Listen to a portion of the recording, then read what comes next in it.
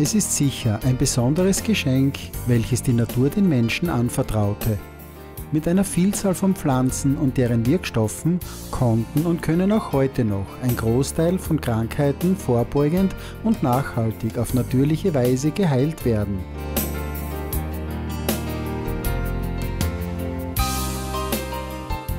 Wir sollten dieses Geschenk mit Bedacht und Ehrfurcht einsetzen und uns immer bewusst sein, wie wertvoll natürliches Leben für den Menschen ist. Hallo, ich begrüße Sie wieder recht herzlich bei unserer Serie der Natur auf der Spur. Heute erzähle ich Ihnen einen kleinen Beitrag über das Schaboxkraut. Im Volksmund auch Butterblume, Gichtblatt, Feigenkraut oder Frühlingssalat genannt. Das Schaboxkraut gehört zur Familie der Hahnenfußgewächse oder im Lateinischen Ranunculaceae. Man findet die Pflanze in feuchten Laubwäldern, an den Ufern von Wasserstellen oder Bächen und auf feuchten Wiesen. Ich schätze mich glücklich, es in meinem Garten zu haben. Mit den nierenförmigen Blättern des Schaboxkrautes heilte man früher die gefürchtete Krankheit Skorbut. Der Skorbut ist die schwerste Form eines Vitamin C-Mangels. Er entsteht, wenn dem Körper über einige Monate kaum oder gar kein Vitamin C zugeführt wird. Den meisten Menschen in der heutigen Industriegesellschaft stehen genügend Vitamin C-haltige Nahrungsmittel zur Verfügung, sodass der Skorbut als Krankheit praktisch nicht mehr vorkommt. Wichtig ist, frisches Obst und Gemüse zu essen, da das Vitamin C bei längerer Lagerung oder beim Kochen verloren geht. Gesammelt werden die Blätter vor der Blüte, denn wenn die leuchtend gelben Blüten erscheinen, werden die Blätter leicht giftig und sollten nicht mehr gepflückt werden.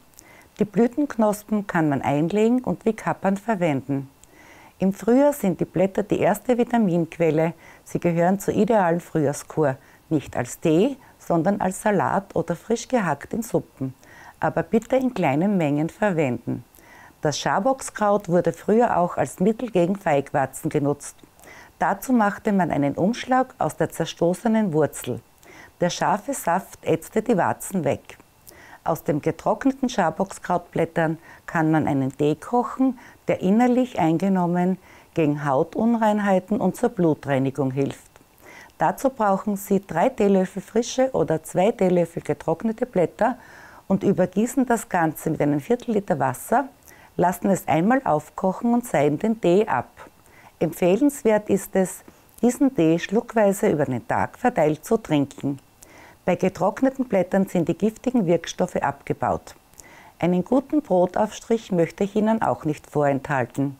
Dazu brauchen Sie eine gute Handvoll frisches Schaboxkraut, zwei bis drei Teelöffel Leinöl, 250 Gramm Topfen, etwas frischen Zitronensaft und Salz.